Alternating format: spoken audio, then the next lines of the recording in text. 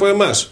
Να σας θυμίσω ότι σήμερα η Ισπανία δανείστηκε από τις αγορές με επιτόκιο 5,4%, που είναι ακριβό επιτόκιο, είναι υψηλό μάλλον επιτόκιο. Παρ' όλα αυτά όμως, μνημόνιο δεν υπέγραψε.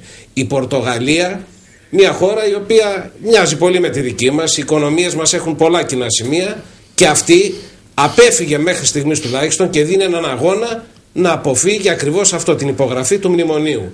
Ο Παπανδρέου συνειδητά, αμαχητή, παρέδωσε την ελληνική κοινωνία στην Τρόικα και στο Μνημόνιο, γι' αυτό και γίνονται, γι αυτό και γίνονται αυτά που βλέπετε στους δρόμους. Κύριε